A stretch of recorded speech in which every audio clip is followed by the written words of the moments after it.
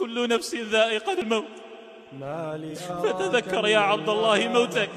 يا عبد الله إذا مات لك حبيب وما أكثر ما يموت الناس اليوم بوباء كورونا.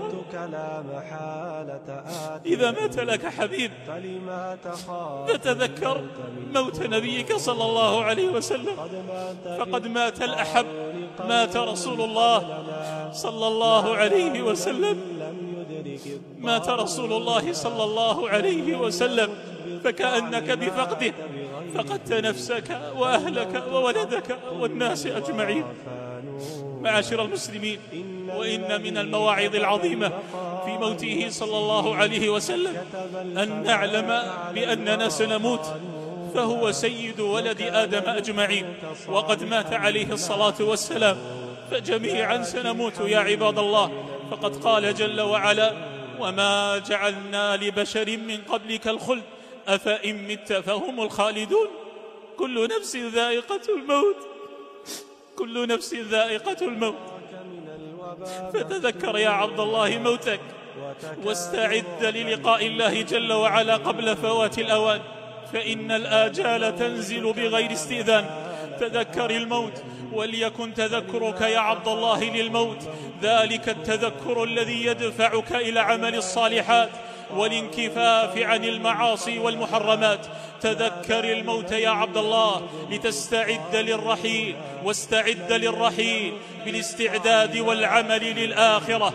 فإنك يا عبد الله إذا نظرت إلى الموت هذه النظرة وتذكرت الموت هذا التذكر فهذا لا يزيدك إلا خيرا. يزهدك في الدنيا ويزيدك إقبالا على الله عز وجل. وإذا أقبلت على الله سبحانه وتعالى ازداد صدر ازداد صدرك انشراحا وقلبك اطمئنانا وتذكرك للموت على هذا الأساس. إذا جاءك الموت بعده أو جاءتك مبشرات برحمة الله ومغفرته أحببت لقاء الله عز وجل فأحب الله لقاءك. كما قال النبي صلى الله عليه وسلم من أحب لقاء الله أحب الله لقاءه. ومن كره لقاء الله. كره الله لقاءه. صالحا. رواه الترمذي وابن ماجه. إن العبد الذي يتذكر الموت ويعلم بأن الموت مدركه لا محالة يحرص على الاستعداد لذلك اليوم العظيم. يحرص عليه في هذه الدنيا بالإقبال على الله عز وجل والحرص على عمل الصالحات. يحرص على اغتنام الأوقات خاصة الفاضلة منها يا عباد الله. فإن شهر المحرم الذي سيحل علينا يا عباد الله شهر عظيم فهو شهر الله عز وجل. وإن من العبادات التي يحرص عليها العبد في هذا الشهر الإكثار من الصيام. فقد قال نبينا صلى الله عليه وسلم أفضل الصيام بعد رمضان شهر الله المحرم. أفضل الصيام بعد رمضان. شهر الله المحرم وشهر المحرم يا عباد الله. هو شهر من الأشهر الحرم التي قال الله عز وجل فيها إن عدة الشهور عند الله اثنا عشر شهرا في كتاب الله. يوم خلق السماوات والأرض منها أربعة حرم. فلا تظلموا فيهن أنفسكم. لا تظلموا فيهن أنفسكم.